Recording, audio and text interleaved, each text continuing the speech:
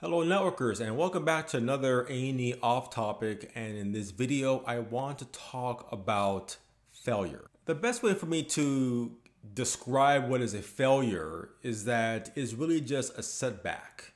It is a setback that requires you to reassess a different path, requires you to reassess to figure out what went wrong or to reassess of what you need to do differently. Okay, so let's take a step back. Why am I recording this video and want to talk about failure? So very recently, I suffered a very huge setback, a big failure. But it does relate to what we'll be talking about in this video as being a network engineer or the things that you're trying to do as a network engineer. So as I mentioned in one of my videos in the new year, that one of my goals for 2019 was to run a 50 mile race. Well, that was scheduled this past month on April 6th, the American River 50. And I was fully prepared for it, 100%. Uh, running 20 miles back to back, I was really ready for it. And when I did the race itself, I was doing great. I was at mile 20. If you understand something about road running or ultra running, there's a lot of trail running for some of those races. And when we talk about trails, we talk about hills, extreme elevation. And this race had a lot of that. So, anyway, at mile 20, I'm going uphill. I'm doing great. But I feel like I have to stop when I get to the top. And when I did, I became disoriented. I almost fainted. I became dizzy. My body couldn't move. When I tried to, um, to walk forward, I was actually walking backwards. My body was preventing me to move forward. That had never happened to me before. So I was, I was a little, I was a little scared. But after a few minutes, I was fine and I continued my run. So I was like, eh, maybe it's a fluke. Let me just make sure I drink more, eat more, just take it easy, do some walking, just keep it easy because I did not know what that was. So I was doing fine until mile 35. And at that point, I had to stop again. I was going uphill when this happened. I had to stop and find a rock to just rest on. And the feelings were the same, but they were worse.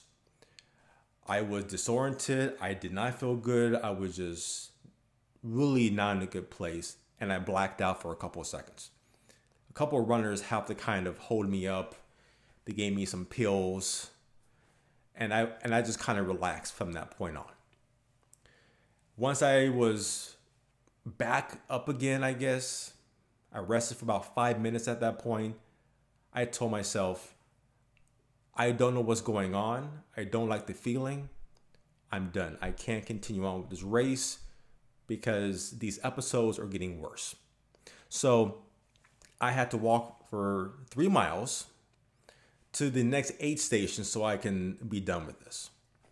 There was a good friend that was with me during the entire time, and he helped me get through those three miles, which felt like eternity.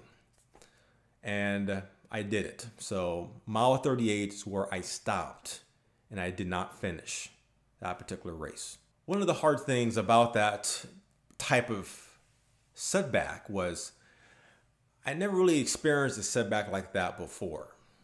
And my children were really not in a good place. They did not know what's going on because I'm sending them text messages from my Apple Watch telling them what's going on. And they're like, What do you mean you're blacking out? You're passing out. So my kids were they were really scared. They're like, is is is my dad going to die?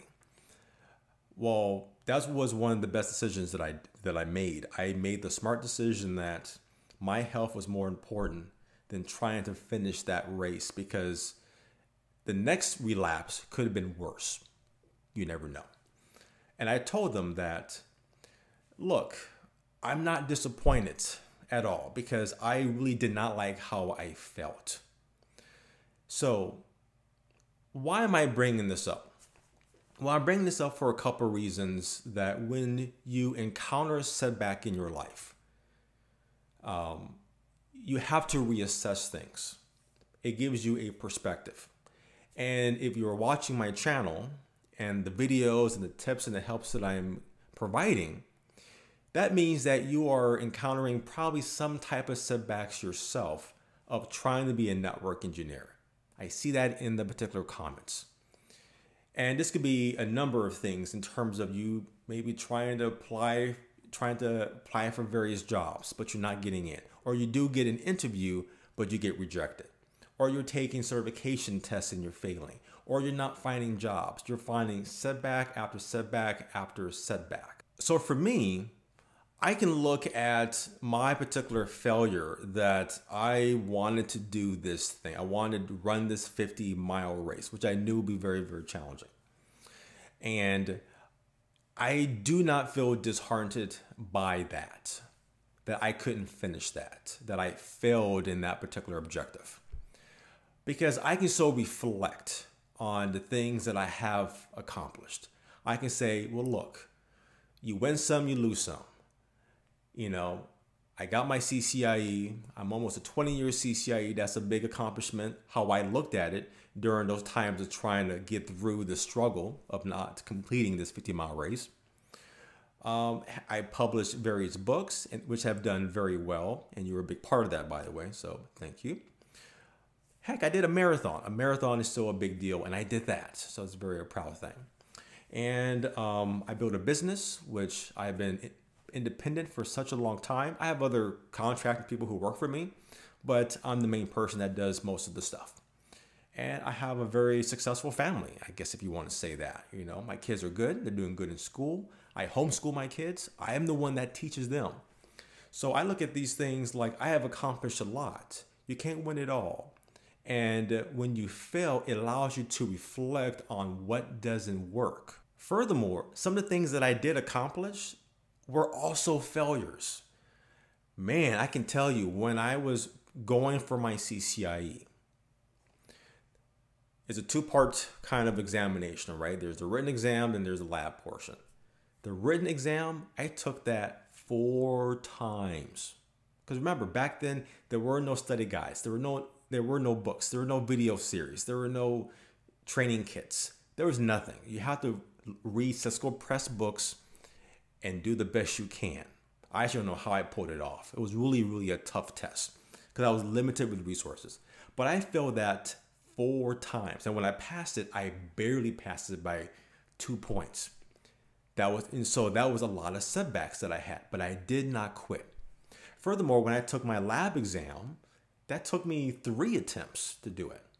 Um, and again, I did not quit. So I can reflect like I have failed before, but I didn't quit. I just reassessed what didn't work. I made those changes and eventually I did pass my CCIE. And the great thing is when I started to recertify year after or every two or three years, I got better with these tests because my experience level improved. So let's bring this back to you guys, okay? So just think about what particular failures or setbacks, because a failure is nothing more but a setback. It's a failure if you just stop altogether, but really that's not true. But I think it's important for you to look at whatever is not working for being a network engineer, or if you are a network engineer, but you're probably not doing what you want to do in terms of maybe you want to do more security or cloud computing or data center type work, but you're getting a lot of setbacks for that I'm confident you have a setback that or a challenge that you're trying to figure out how to get through. So, hey, let me go to this channel here. This guy is mentoring network people and trying to find what tools I could use to um, solve those challenges. That's kind of why you're here. And I want to provide my experience because no one gave that to me. Um, so that's really what you're doing. Figure out what your setbacks actually are. And then you need to figure out a couple of things when you determine what it is, whether you're failing a test, you're not getting the right kind of jobs, you're not finding jobs, you're not doing what you really, really want to do. So you got to kind of figure out are you on the right path? Because yes, you might want to do networking, but if there is no interest, then it might not be the best path for you. You may want to do more with computers or with some other kind of facet in the IT realm. So you got to really figure out is this the right path for me? Is this something that I truly, truly want to do? And if it is not working, then figure out, well, what am I doing now? Because obviously, what I'm doing now, something in this mix isn't working. It could be how you're studying, what kind of resources that you have, who you're talking to. Just kind of look at those things and say, okay, these are probably not working because if they did, I would not have this setback. So you may want to try different things. Try everything that it is possible. That's what I did when I was trying to recertify, sorry, when I was trying to become a CCIE. I was failing these written exams. So whatever I was doing simply wasn't working.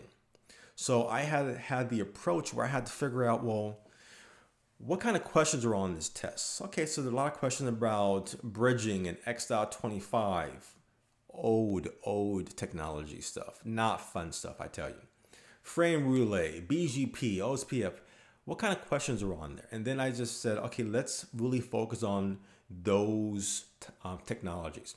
Think about what kind of questions were on the actual test and try to do whatever Google searches that I can. There wasn't a lot of stuff out there, but I did whatever I could that was different to figure out how can I get through this written test because I did not want that to hold me back. I had the interest there.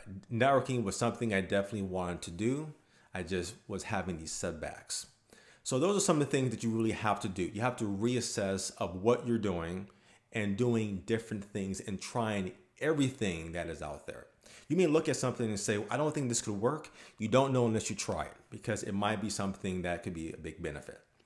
One of the setbacks could be, hey, I'm just not finding a lot of job opportunities as a network engineer where I live.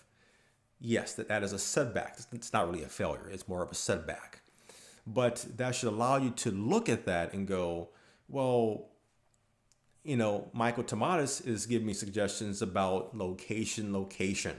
Location is such a huge, huge thing.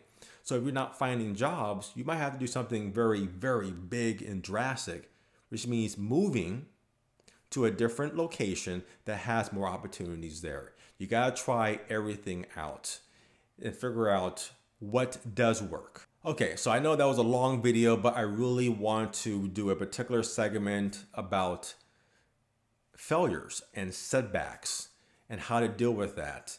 And again, that gave me more of a perspective because um, what I've been through personally was a pretty big setback. It, it scared me from a personal perspective, but it allowed me to kind of just reflect on, you know, what I need to do next.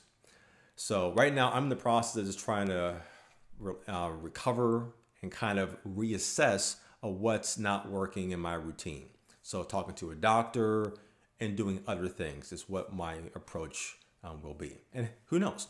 Maybe I will do another 50 miler, but for right now, I need to do my assessment of what didn't work and have a plan for moving forward.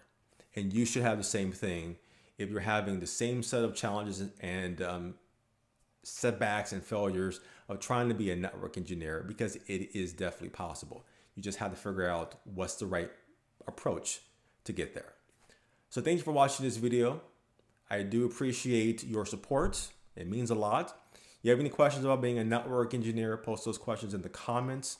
I'm actually going to do another video because there's some stuff on YouTube that I'm trying to work out, but that'd be a separate video that I would do. But any questions you have, post that below.